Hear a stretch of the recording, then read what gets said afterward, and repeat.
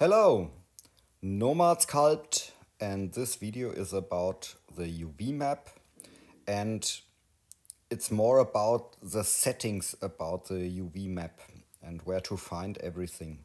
Okay. So,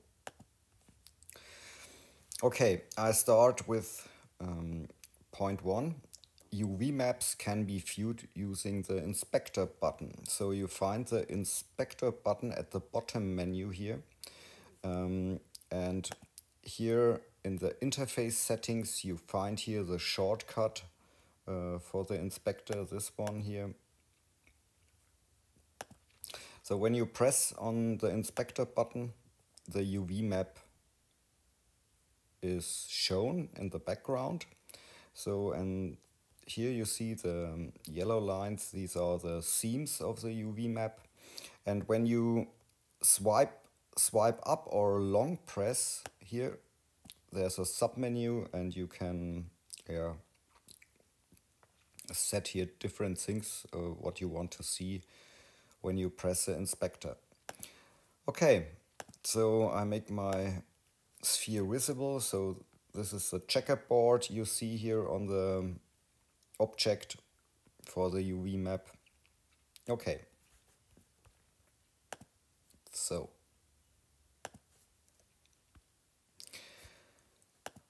The next thing here is point two. Primitive objects like a sphere, cube, or the tube and so on have a default UV map.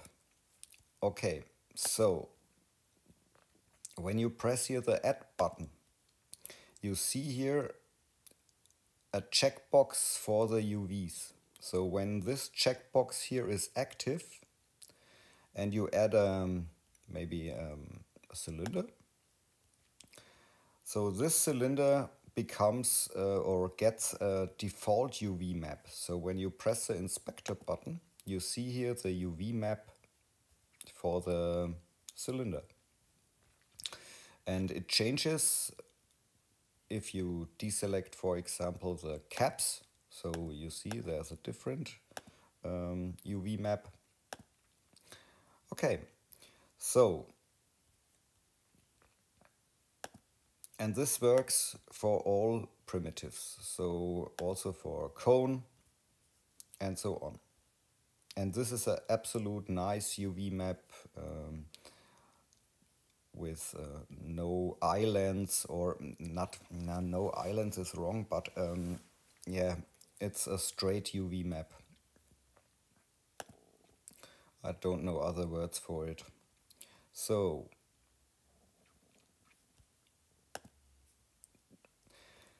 okay then so we need an example. I add here without a UV map a quad sphere. So when you press the inspector button, you only see the checkerboard but no UV map in the background. So I press validate and then here in the topology menu you find here the MISC submenu and here you find the options to unwrap UV maps. So UV Atlas and BFF. And here's also um, a settings button for um, yeah, the UV unwrap settings for this. So face groups, stretch, island spacing and so on. And here also uh, settings here for face groups. Okay, here is the unwrap. And here you can read here, here this yellow sentence here, though, can be very slow, target smaller than 100,000 vertices. So this is, unwrapping should be done below 100,000 vertices. So polygon, sorry, this was, I think it's wrong. Okay, so and this quad sphere has 6000 and it's okay. So let's press unwrap. And now you see here the UV map for this sphere. Okay. Or the BFF UV map looks different. So like this. So, okay, this was uh, the poly count. Then, okay. Sorry, I need the inspector. So, here this uh, sphere has a UV map and the next point is voxel remesh or dynamic topology removes or deletes the UV map. So I turn on the inspector and now I'm using the voxel remesher. So like this and I press remesh then you see the UV map is gone. So voxel remesh deletes the UV map. The same here when I'm using the clay tool and I activate dynamic topology here. So you see UV map is deleted. So voxel remesh or dynamic topology removes the UV map. Point five, so no direct seam marking function available. So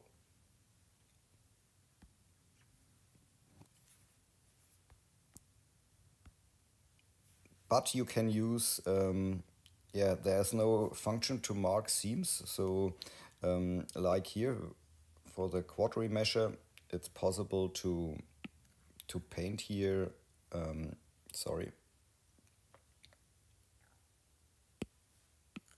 So mark seams like this here, and this is not possible. So you have to use here the face groups, here face group tool and so I'm using the dot. And I'm painting here face groups. They're a little bit smaller.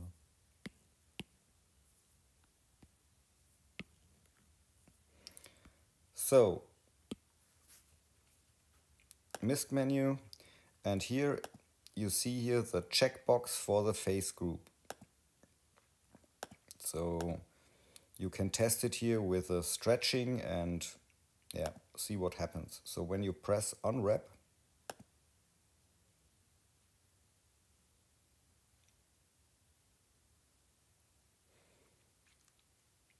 well, let's wait a little bit.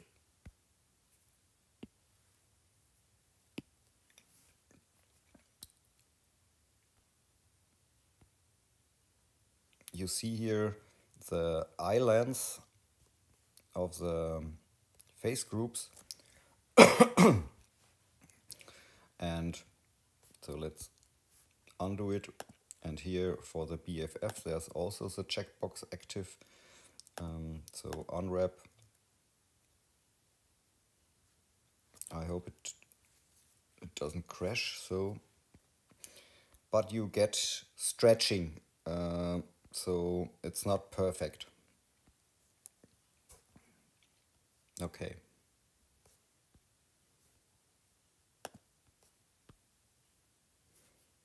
So these are face groups. You can define UV islands. So the next thing is baked UV maps are saved in the TMP folder on the device. So, okay.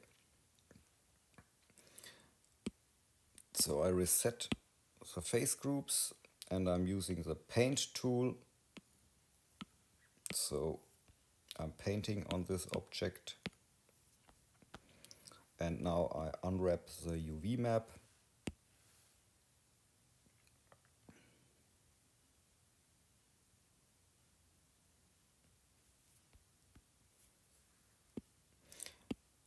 And now I'm baking. So here are the baking features bake texture. Here you find um, the settings, what you want to bake. So I want to bake only the color. And from itself at the moment, a 1K texture. So I bake this. And now here in the material menu, you find here your texture and in the color slot, here is the texture. So, okay. And on your device, so you find here here is a nomad folder. And here you see um, a folder called TMP session.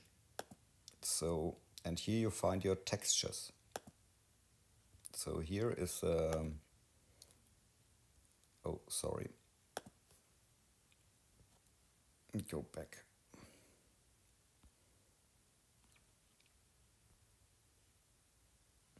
So here's your texture in this TMP folder here. Textures folder and TMP session.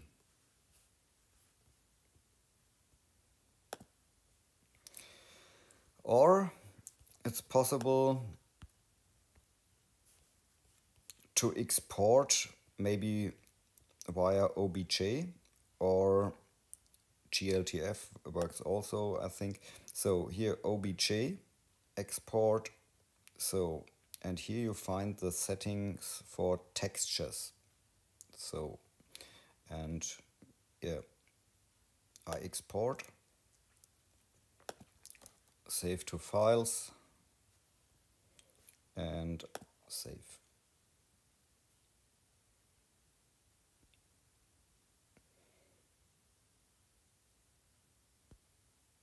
So here and here you get your texture.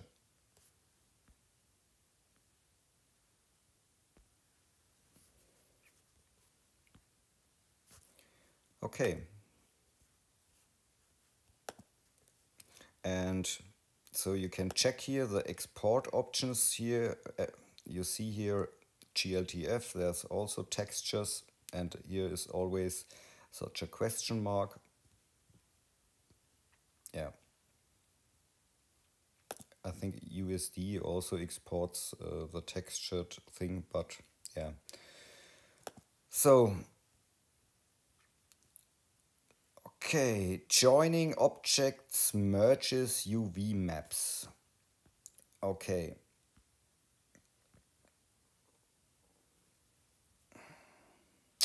Yeah, how to test it? So, we have here a UV map and let's bring in another object. Uh, yes, so let's bring in a box validate. So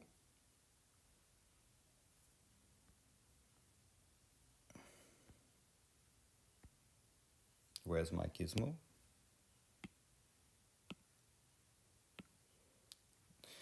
Okay, let's check here the um, UV map for the box. And this is the UV map for the sphere. So you see here different UV maps. So when you select now both UV maps, and this one here is highlighted. So here you see here this one is highlighted and I press join you see here you get now two overlapping UV maps. So from the box and the, the sphere. So this can cause problems, but it can also be useful. So be careful when you use the join thing with UV maps. Um, check the overlappings and so on.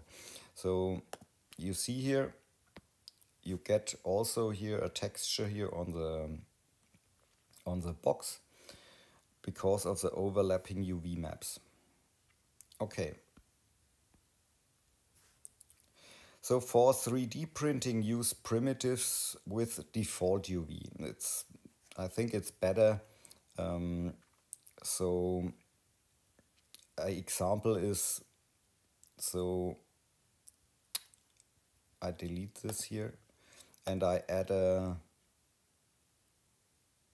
a cylinder. So I validate the cylinder and so and I check the UV map.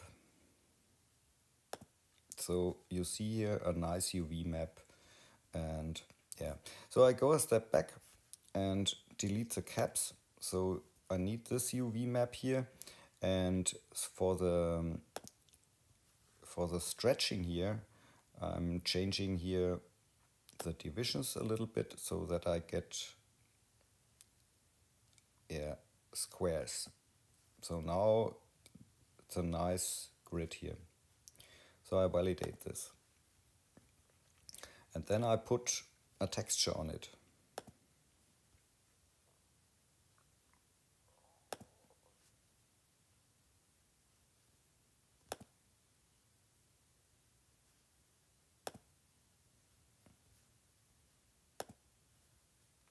I change the, the scaling.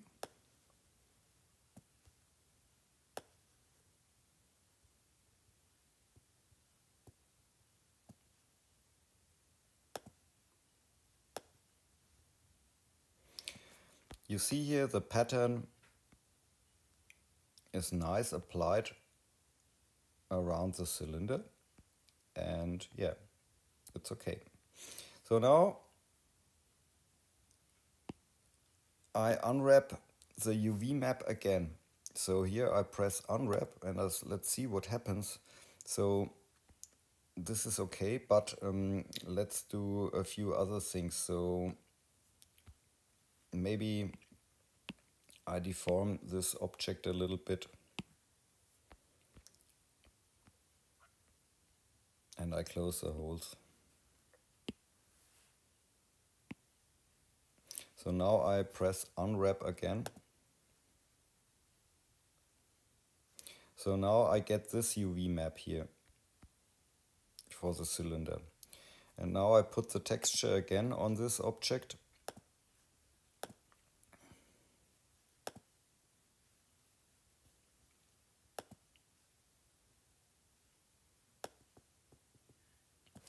And you see the the problems here. So the seams and the overlapping or the seams are not correct. And it's not a nice UV map. So you have to better use the default UV so no remesh no dynamic topology. So yeah it's better. I hope you understand. So and the last thing here is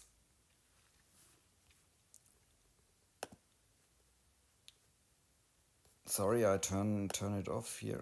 So this is the last point here. Normalize UV map.